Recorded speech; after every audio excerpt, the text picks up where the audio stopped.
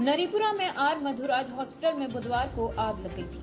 इसमें हॉस्पिटल संचालक व उनके बेटा बेटी की मौत हो गई थी। हॉस्पिटल बेसमेंट में चल रहा था। इस घटना के बाद डिप्टी सीएम ब्रजेश पाठक ने मानकों के विपरीत और बेसमेंट में संचालित हॉस्पिटलों पर कार्यवाही के निर्देश दिए थे। इसके बाद गुरुवार और शुक्रवार को स्वास्थ्य विभाग की बारह टीमों को ऐसे हॉस्पिटल पर कार्यवाही के लिए अलग अलग क्षेत्रों में भेजा गया।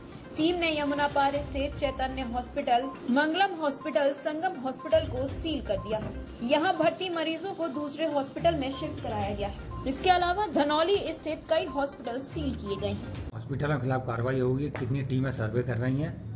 क्या है? इस समय हम लोग ने जैसा कि निर्देश प्राप्त हुआ है उन उन चिकित्सालयों को हम लोग चिन्हित कर रहे हैं। जहाँ पे कोई भी चिकित्सीय कार्य, जैसे खासतौर से मरीज़ को भर्ती करने का वार्ड ओटी इस तरह की चीज़ें बेसमेंट में चल रही हैं। और इसके अतिरिक्त वहाँ पे जो भी अग्निशमन के जो जो भी लगी हैं, उनका, उनके पास प्रॉपर ऑडिट या कोई सर्टिफिकेट है कि नहीं। तीसरी चीज़ जो नियम है कि वो, उनका भूभाग कितना बड़ा है, उसमें उन्होंने उतने बेड के अनुसार लगाया कि इसको भी हम लोग ध्यान में रखते हुए एक सर्वे करा जिसमें आज हमारी बीस टीमें लगी हुई हैं। और जो अ, कल इन पर कार्रवाई भी की थी हम लोग ने करीब इक्कीस हॉस्पिटल में हम लोग गए थे जिसमें से एक के खिलाफ एफ़ आई आर हुई चार को सील किया गया। अब उनको कुछ कुछ चिकित्सीय कार्य करने से रोका गया। और जिससे कि जिससे कार्य करने से रोका गया है और साथ में नोटिस भी दी गई है जिससे ये लोग अपने आप को अग्निशमन को लेकर और एनओसी को लेकर दिक्कत है, उसको हम लोग बैठ के एक बार उच्च अधिकारी के साथ वार्ता करके, जो भी पचास बेड से नीचे चिकित्सालयों में क्या क्या सुविधाएँ होनी चाहिए, उसका एक बार बात करके इसको हम लोग व्यापक रूप से इम्प्लीमेंट कराएँगे। पचास बेड के ऊपर एन की आवश्यकता अनिवार्य है।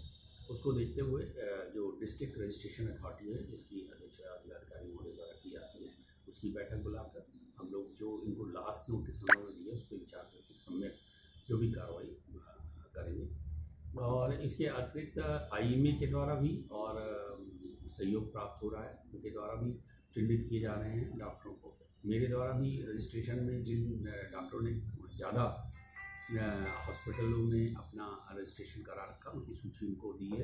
करीब बासठ चिकित्सालय और पैथोलॉजी हमने चिन्हित उनको दी है। और वो भी प्रेशर डाल रहे हैं कि ऐसे चिकित्सक जो मल्टीपल चिकित्सालयों में अपना रजिस्ट्रेशन दे रहे हैं, वो लोग विड्रा करें। तो ऐसे अस्पताल जो दूसरे के नाम से चल रहे हैं वो भी बंद हो जाएँगे। और इसके अतिरिक्त उनके द्वारा भी अ, झोला छाप डॉक्टर या जो अपंजीकृत चिकित्सालय चल रहे हैं उनकी भी सूचना प्राप्त होगी जिन पर हम लोग व्यापक कार्रवाई जैन हॉस्पिटल को स्वास्थ्य विभाग द्वारा नोटिस दिए गए हैं। उनमें Ravi hospital Delhi gate blossom super speciality Sparsh Malhotra hospital Khandari Shri Krishna hospital trans Yamuna colony Rashmi medicare centre Kamla Nagar Mughal road, Goyal city hospital, trans Yamuna colony, Purushottam Das Savitri Devi cancer hospital, NH two Sikandra S R hospital, Namner road, Yashwant hospital, new Agra Saket hospital, चार Saket colony, general ward COVID block, जिला अस्पताल Ramtej hospital Vaibhav Nagar Tajganj, sapphire hospital Ajmer road, Pratappura चौराहा, Jeevan Jyoti hospital and research centre, sector एक, Awas Vikas colony Sikandra,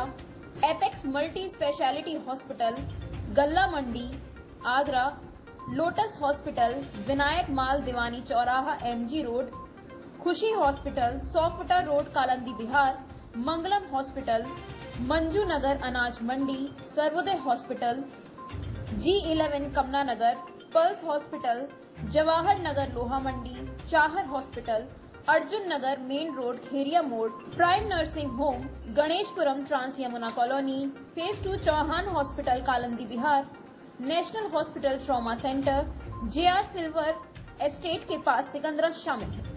corona काल में Covid medical college अस्पताल बनाए गए।